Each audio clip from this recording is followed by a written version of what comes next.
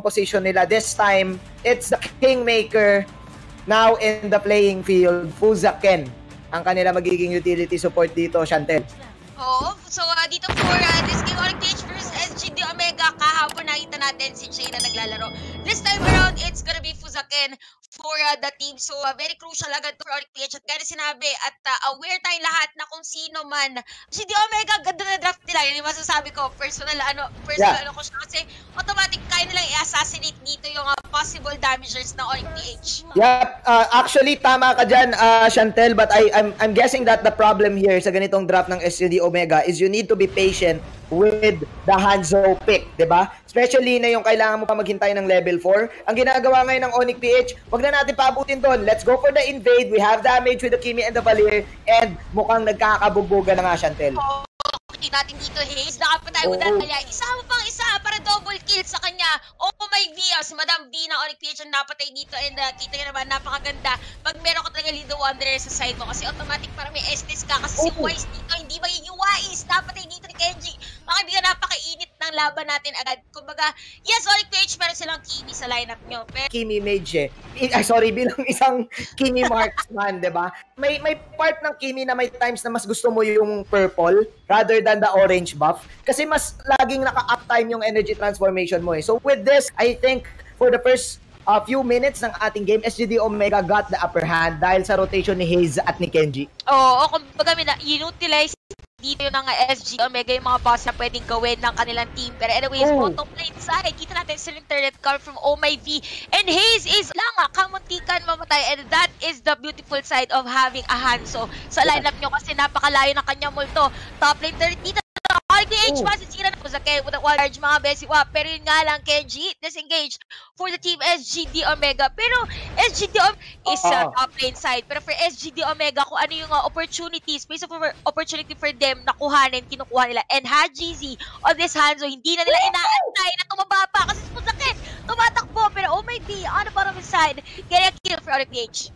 Grabe no, Chantel, I think dyan mo lang malalaman talaga yung pagiging uh, professional nitong teams na to, no? Playing the macro game as usual, controlling all the lanes. If you can notice, wala pa rin nagtuturtle dito sa laban na to. Iyakno with the bait here. Muntikan pa siya mamatay pero binate niya pa lang. La- lang niya yung ulti niya. Meanwhile, may nangyaring kaganapan sa taas. Chantel. Yung namatay? Para mean, for Akimi against Uranus, medyo hindi siya talaga makikita on early part of the game. More, most probably, kailangan maging mataba ka talaga. Pero Turtle has been taken here by Onyx PH. Wise, a kill para sa kanilang team. Hachi, si Kamuti ka mamatay! Kamutikan para makamamba out dito. Hayes with a kill naman on the side Hayes. Pero uh, Kenchi dito disengage for Onyx PH on this match. Tatlo ang tumatakbo for uh, this team. And uh, guys, sinabi natin, SGD Omega is on a roll. Again, they have the Kimi and the Grok in their lineup. Talagang nagiging careful sila. Gusto kong makita, actually, dito, si Kuya Hayes. Ayun, Bataanon putting on a show. 5 minutes in, 5-2-1 with the high and dry and the execute. Ang gaganda ng mga flanks na pinapakita dito ni paring Hayes. Akatin, si Hanzo ang gagalaw ng mga flanks, ang gagawa ng mga flanks, pero hindi si Hayes. At dahil doon sa mga flanks na ginagawa niya, na Tira yung rotation ng SGD Omega. And uh, I think uh, ginagawa nga nila to, uh, Iapno is really doing well in terms of uh, focusing and prioritizing his lane. But meanwhile, Chantel, Nako po, dito sa 30 lane side dahil it's gonna be hit sa may bandang likod pero mahuhuli lang din naman yata dito. Buhay pa pero Musake with that one charge mga kaibigan. Turtle has been taken here by Uranus Kenji. Napakakunan pero flicker out para kay Hit dito.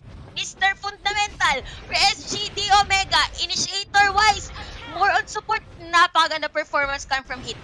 ubos na naman ang pulutan mula kay Hayes Bataanon. Grabe, that was a value trade coming in from SGD Omega, Chantel. Ilan lang sila doon sa Turtle SGD Omega, yung ah, kayang ibigay dito ng Kimi, kina-counter na nila agad bago pa maging masakit sa ulo. So, na-foresee na nila yung kayang ibigay ng uh, Kimi ng Olic PH. But anyways, 9-10 ang ating score again, SGD Omega. Oh. Napaka-aggressive. We have Haze here na nagpapakita ng hila sa ating laban nila. Wala buhay. Oh my V!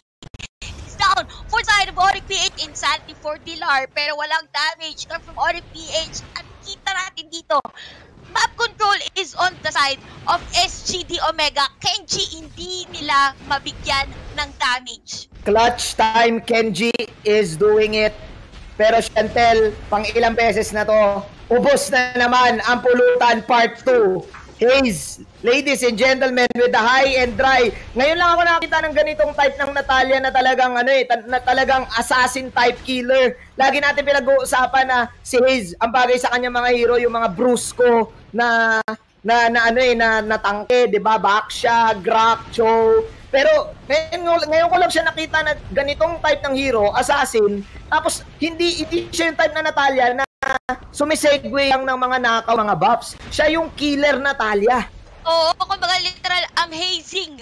Para Oo. dito kay ng SGD Omega kasi minsan siya na rin talaga yung pumapasok kahit mag-isa lang siya at nanggugulo. Kumbaga, pagka nagkaroon ng exclamation point nakita ng Onyx PH, knowing na si Hayes yung may gamit noon, there's this certain kaba for Onyx PH. Kasi ano eh, willing to go, willing to dive for Yeah. Hayes dito knowing na may execute pa siya sa ating laban ngayon. For Onyx PH, medyo uh, mahirap ang uh, kanilang sitwasyon.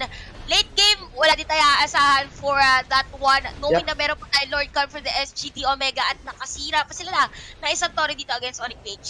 I think ang sinasabi mo dito, Chantel, eh, yung scaling nila, eh, unti-unti nang nawawala. 'di ba Yung pinag-usapan kahapon, unti-unti nang nag expire Kasi never din nagkaroon ng magandang early game itong si Kuya Wise na istama actually yung mga kasama nilang tatlo si Toshi, si Hit Kenji ito yung mga tropa nilang talagang ano lang talagang o tara inom parang gano'n taga Sige, G.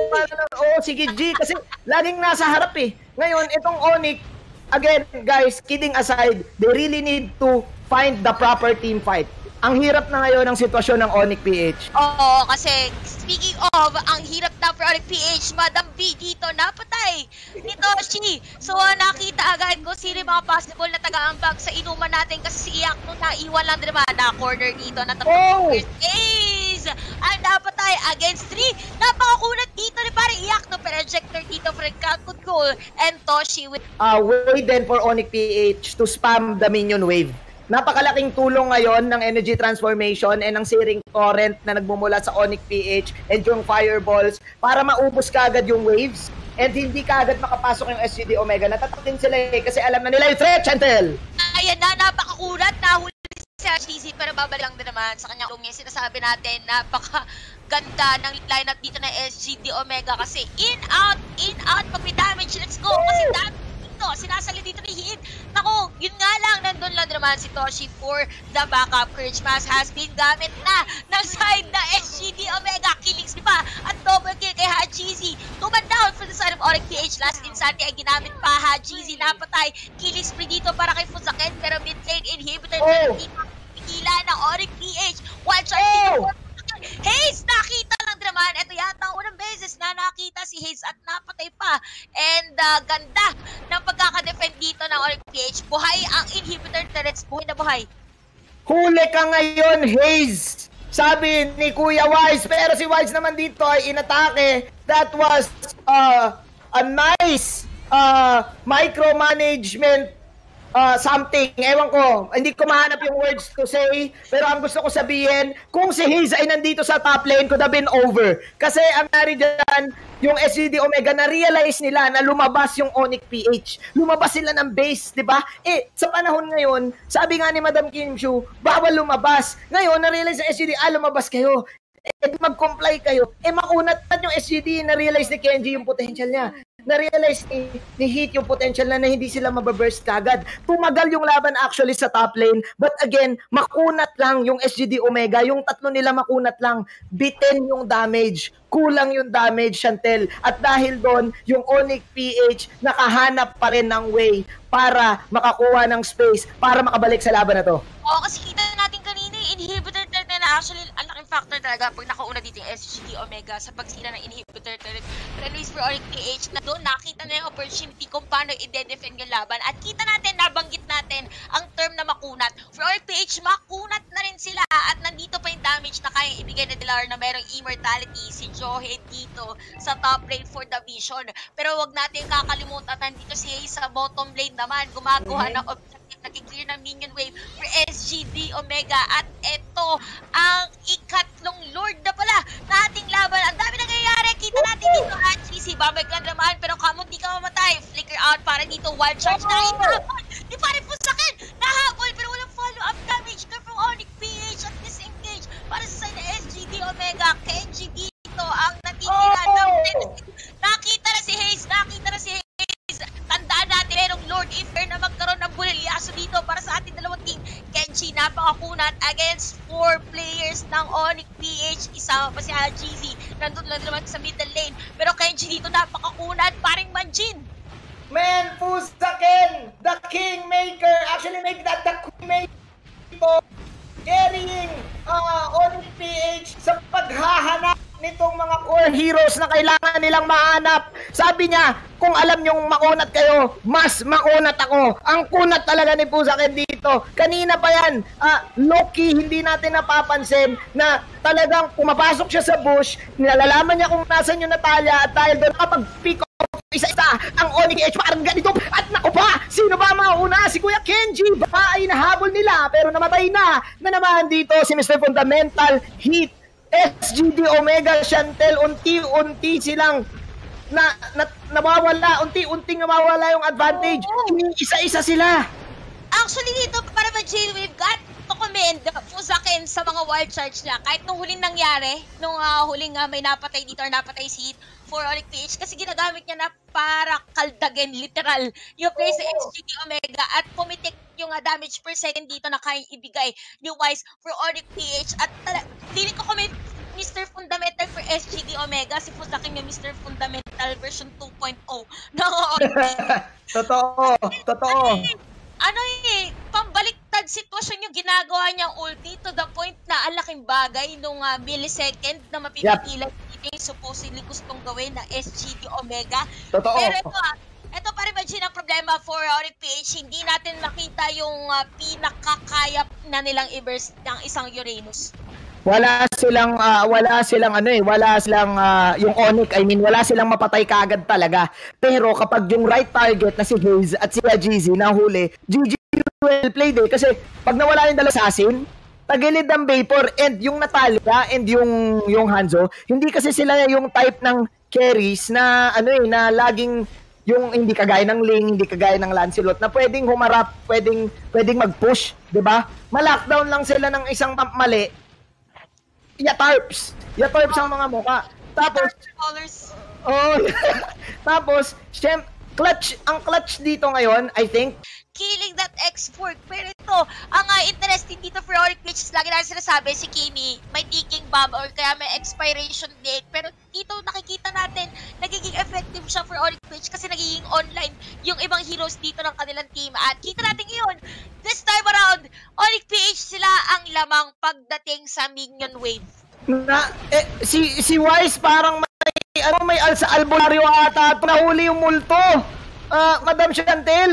And, yeah, nag-agree ako sa'yo, no? Yung Kimi nag-expire, pero go, Chantel! Oh! Nasa likod! Nasa likod na likuran! Parang haze natin dito ang Kimi na or PH. Pero uh, kita natin dito, meron siyang immortality. Nadikatan lang din naman against one. Si Hit dito ang nahuli ng uh, Team Onyx PH. Nabalibag pa. Pero Falling Starmoon, confirm Toshi with a mega kill para sa kanya. Napakasakit! Kuya Eddie! Iyak to! Lang din naman. Double kill para sa kanya. At ito na yata, bakbakan natin ngayon sa ating laban na magpapabago ng ating sitwasyon. Kita-kita dito ni Fuzaken. Pero KG, KG, puno-puno yung buhay mo, men! It's gonna Kakunatan! be... To! Kakunatan ang labanan! Ah. Ay, siya! Bago laban dyan din, naglolokohan lang sila. Ayan, nagtatakbuhan lang sila maibaya. Oh, umingit langit. Oh, teka, lupa. Ay, nilabas sa mga apoy-apoy dito. Pero may mumu, may multo, may otlom na umatake. Inatake rin yung kabilang multo. Siyempre. Eto, hindi ko alam. Sabi kanina ko dito nila. Kasi na, nakita mo yung binabatong skill, pero wala na babawas sa ano, nababawas Okay. sa buhay. Para silang dalawa yung naglokohan. Pero anyways, kinagandahan doon, napatay naman si ah, Iyak no. Nawalan din siya ng immortality, so kumbaga cooldown agad to for Onyx PH. Crucial thing here is, dahil sinabi natin, napakakunat na ng lahat. So yung team fight siguro natin for the next, uh, ano, for the next minutes ay mga 4 minutes, 3 minutes, Oo. papatay ka na ng isang hero. Isang hero yung papatay mo. Oo. Road to 35, 35 minutes, 40 minutes, let's go. Not, exclamation notified na to, guys. Oo, Salamat eh. natin. Pero anyways, sa SGD Omega, nakita natin yung full potential na ni Hayes kanina. Nalikuran niya yung Kimi. It's just that, merong immortality. Si Kimi kanina, at this time around, nakapag-cooldown na rin yung immortality niya. Oo, man. Up, up! Wild charge na naman! Bakit pa rin po sa kain, mga kaibigan? Pero nagkaroon ng multo dito. Si Ah! Falling Star Moon kay Toshi, na-stand ni Madam B, pero nandito ang backup ng SGD Omega Kenji. Ang sinasabi natin, isa sa pinakamakunat na hero dito na SGD Omega ay halos wala ng buhay. Napatay pa dito ni Wise, pero yun nga si HGC for the backup. Tingnan natin dito, may immortality, may immortality, men! Buhay na naman sila! Oh my! Onyx PH! Sama-sama! Sama-sama sa 2020!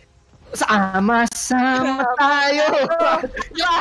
Na, na, nalilito na si Kuya Hayes kung, kung papasok pa siya o hindi. Kitang-kita, nahuli sa camera eh. Si Kenji, humingi na siya ng, humingi na siya ng tulong. SGD Omega, alam kasi nila, ka- kaya nilang makaburst. Pero nakita mo yon wild charge agad hanggang sa mumo. Si Kuya Puzakin, clutch. Kumbaga sa ano, kumbaga sa basketball, itong si Puzakin, siya yung nakakuha ng clutch rebound. Sobrang ganda ng box out niya. Oh, akala ko si Kuya Punsakin yung nakashoot na ng ball. Hindi naman. Kasi lagi sakto talaga yung siya. Di ba, Oo, po sa eh. akin, promise. No fancy talaga kaya po sa akin, pero sakto kasi para ma-stop yung pinakagustong gawin na SGD Omega at nababaliktad nila. One factor dito yun siguro for Onyx PH kaya nahihirapan yung SGD Omega, hindi na nila ma-penetrate si Oh My P. Kasi nakikita natin yung mga stun ng ah, kanyang ah, skill dito. Ang laking bagay pagdating sa team fight kasi automatic nagiging target sila ng Kimi. Pero tala naman tayo dito sa top lane. At dire-diretso lang. Sabi nga nila, pero Jesus ito napatay. Ang kanyang outlaw mga kaibigan hit. Nandito sa may bandang Genji. Pero hindi Oh! lang. Oh, hits! Napatay si Oh My God. Kakabagit na natin. Wise dito. Wala na rin immortality mga kaibigan sa may bandang likod ng dito. Last insanity. Come from Dinar on that um, XP. Pero Kenji dito, carry a kill para sa kanilang team. Nakita ni Iyakto under the turret mga kaibigan ang isang Hanzo and a kill para sa kanya. Pero this is gonna be against 3 sa may At hindi na si Malakin. Alam ka, sige. Agad ka mamatay. Ang laban lang. Let's go. Pero Toshi will a kill. And last man standing at ating Mr. Fundamental version 2.0 ng RPH Puzaken with mga crucial for these both teams. Hindi natin na nakikita na meron talaga nakakapag-split push kasi delikado for them. The mere fact na may mabawas na isang hero, mahirap na agad pagdating sa team fight. Kasi so far, for these both teams, napakakunat na lahat ng players. Pag may na-minus na Oh! oh! nahihirap na! Pero na-minus dito si Paring Wise at isang pa, oh my D, nakita na nila, nadikitan pa ni Paring, Hay- uh, Hayes natin dito na kill war charge dito, medyo nadikitan pa. Oh! Naku po, last insanity pa, eto na naman ang bakbakan na hindi natin alam kung kailan pa talaga matatapos pa kasi si Toshi napakakunat lang din naman against Steve. Pero iyak dito, laban lang for the side of Onyx PH at Paring Manjin, ewan ko na talaga! Walang course! Walang course ang Onyx PH! Pero ubos na rin yung damage ng SGD! Naku po! Pero mang sa Lord take ang SGD ngayon dahil lima sila! Chantel! Mr. Fundamental Hit nagpakita na! Hinuli niya yung pinakakailangan mahuli. Basic na galawan lang talaga. Talaga, ano yung kita natin, nagtago talaga sa bush. Literal nagpanggap Oh. na dito para kay Mr. Fundamental. Isa yun sa mga plays ng pagkakaroon ng fundamental player na SGQ Omega. Pero si Ace, nakita na naman, ay, napatay pa ni Parang Tiller dito. Pusakin, napakakunat. Pero, ewan ko na talaga. Sinunog! Sinunog! Sinunog din nila mga kaibigan. Nandito naman si Kenji pero papasok na rin si Toshi. Kuya Manjin, carry din ako! Hindi ako tank! At naiwan na lang dito si Kuya Dil. Ayun! Pero buhay na si Nakimi going in for the burning sensation ng kanyang energy transformation. Pero wala silang si Bataanon. His lang. It's still an even ball game. Walang kumuha ng Lord. Ladies and gentlemen, 35 minutes na. What is happening? What is happening to ML? Napakatagal lang natin, guys. Actually, paite. Ang nangyayari kasi literal, in or out. am I in Omega dito. Yes, they have oracles. They have uh, the defensive items from the magic damage. Pero yung ano eh, yung damage per second, yeah? Bigs. Yung damage per second capability ng Onyx dito, mas lamang eh, no? Ayan oh, burning sensation. Nakita mo, anak ko, inuuli ni daga! Si Kuya Hayes!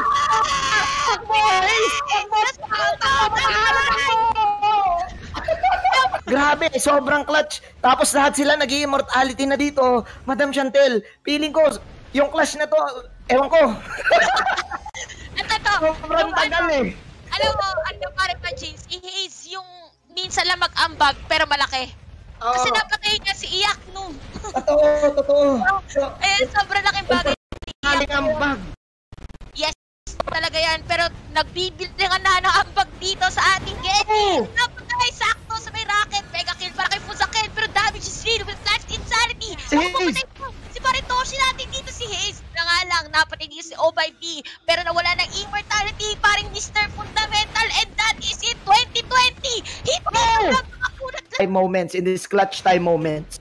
Yes, yes, yes. Siguro dito for uh, SGD Omega, ang magandang gawin is uh, to maximize the bush knowing na meron sila Natalia and Chohead. Magkamali lang dito ng pasok isang player come from Onyx PH, instant pick off na agad for them. Pero bakbakan agad dito. Naku, nakita pa si paring hit natin. Napakasakit dito ng uh, side ng Onyx PH. Sira ang immortality at iyak nung mukhang madadamay lang din naman. It's gonna be a killing spree para Oh. kay White pero may sagot lang din ang side ng SGD Omega. So it's a tie for this match. It's gonna be hit which hindi na kailangan ng Lord.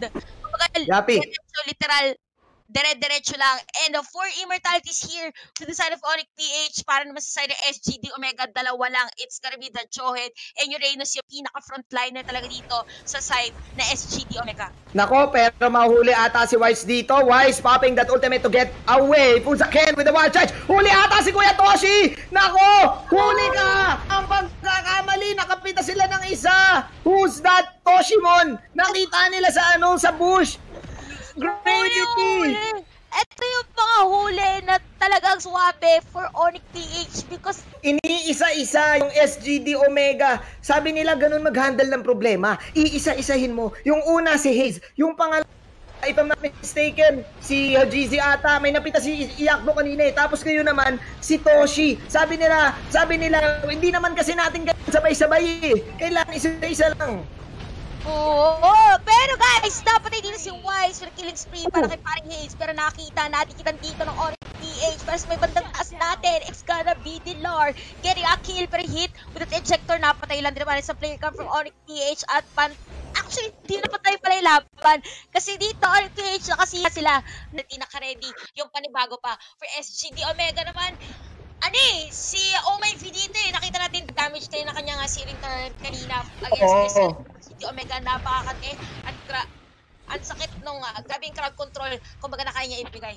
Totoo, totoo. Ah, doon din nahihirapan yung SGD Omega eh kasi mas may ano eh, mas may mas may tulak yung Onyx. Meron silang ah, mas ano eh, mas paano ko sabihin to, mas okay yung kanilang zoning capability with the crowd controls, di ba? Laging sakto yung wild shard. Si Ring Torrent, kahit ibato mo lang yan ng basta-basta, di ba? Matutulak agad si na Kenji. Meanwhile, ang SGD Omega, ah, meron lang sila, falling star mo ni Toshi, tapos yung ejector. So wala talaga silang necessary ah, crowd control na AOE, kaya nga crowd control eh. Da, yun, yun, yun nga, crowd.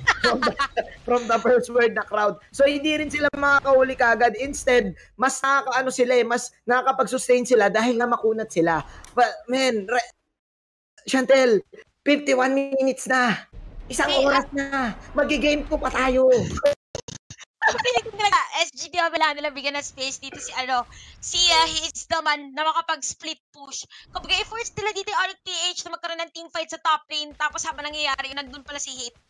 Ah, si Oo. Hayes, I mean, na nag-split push sa bottom lane side. Kasi speaking of bottom lane, ay naramdaman nila at kita ng kanilang uh, psycho technique na nandito pala si paring Hayes. Natamaan ng rocket dito ang ating Natalia. Pero Fuzaken. makakatakot ba? Yan ang tanong Oh. Dito. Makakataas pa si Oh. Hayes. Oh, block block. Pero nandito na ka na mga kakampi. Um, ano to eh, boundary. Kumbaga nakatakas dito si Hayes ng SGD Omega. And for PH, maganda nga ano yun, depensa. Depensa ang Marino, kumbaga, kasi alam nila na merong uh, uh, mga kalaban na magagaling sa bottom lane side. Nararamdaman na nila eh. Alam mo kasi, ang daga, kayang-kaya hulihin eh. At gano'n ginagawa ng ano ng Onyx PH, SGD Omega, sila na yung iwas pusoy dito. Iwas sila sa 5 on 5 engagement. They're just uh, cutting the minion waves every time na lumalabas, utilizing the capability of the stealth na meron is uh, Toshi can even spam out the waves with the second skill. But again, yung DPS, man, even Lar can put on a lot of uh, ticking damage with the flamethrower. So this is just uh, looking bad. Oy, pero sa gitna! Sa gitna! Oh! Oh! Ay, ni paring Hayes ang laban. Nakasira sila ng inhibitor turret doon. Pero kita natin Hachizi. Napaka-please lang naman ang damage ng Onyx PH. Sa sa wall charge Kenji na wala ng immortality mga kaibigan. Ejector. Para kay hitter wise nakapatay lang naman. Flicker out for hit. Mga Besiwap and another one. Pero Hayes is naman talaga for SGD Omega. Malaking bagay na nakuha niya yon dahil pwedeng pwede at ang dami pwedeng isipin dito ng Onyx PH na possible mag-split push dito si Hayes. Kumbaga Malefic Roar, goods, goods na yun eh. Parang Oo. push kasi, ano yun eh, third penetration uh, for the item. Yeah. Oh my, may isang minion na, may isang minion. Hazy here, nandito si Yakmo. Kailangan niya makakuha ng magandang play. Pero naramdaman yon ng Onyx PH. But oh, oh, Heat will fall down in the bottom side. And Gigi also fall down. Kulang dito si si Omega Toshi trying his best to kill Wise. Nandito na, Bataanon! Slicing and dicing! Mr. Hayes, Mr. All-Star, Mr. SEA Games, naran, pinaapoy burning sensation! Ah! Oh! Last man standing for SGD Omega is gonna be Hayes Nasiran! And for that long-running game, Gra congratulations on PH! Grabe!